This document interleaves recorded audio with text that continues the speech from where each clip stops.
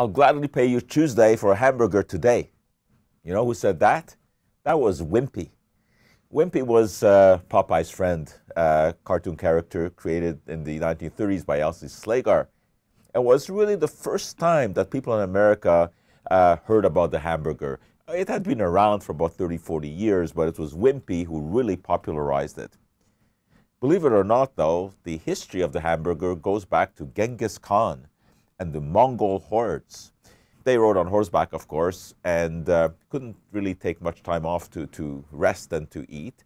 And they would take little slivers of meat and put it under the saddle as they rode.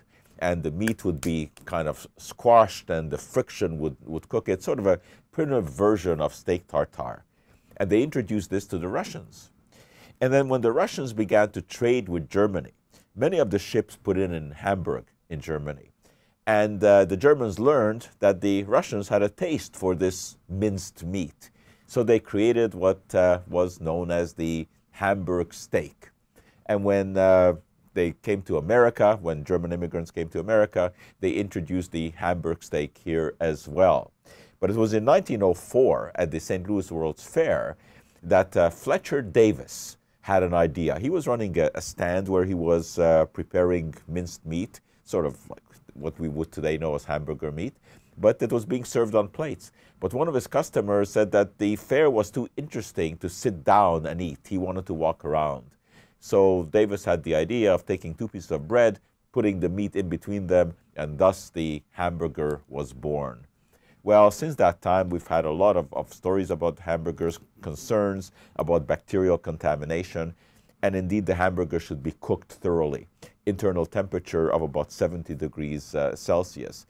It is a sort of an environmental disaster eating red meat. That's, that's true because raising cows is not an environmentally friendly business. Furthermore, they belch out a lot of methane, which is a greenhouse gas. How do we get around that? Well, maybe kangaroo meat, because kangaroos, amazingly, do not belch out any methane, and the meat tastes very good. But even better than that, you can look forward to your next cricket burger. Crickets, about 80% of that animal is edible, which is far, far more than, than a cow. They do not belch out any kind of methane. They can be easily raised. They are environmentally friendly. Uh, it's just that you have to kind of get over the yuck factor. But in the future, we may be eating cricket burgers. But for now, you know what? I think I will stick to the good old hamburger.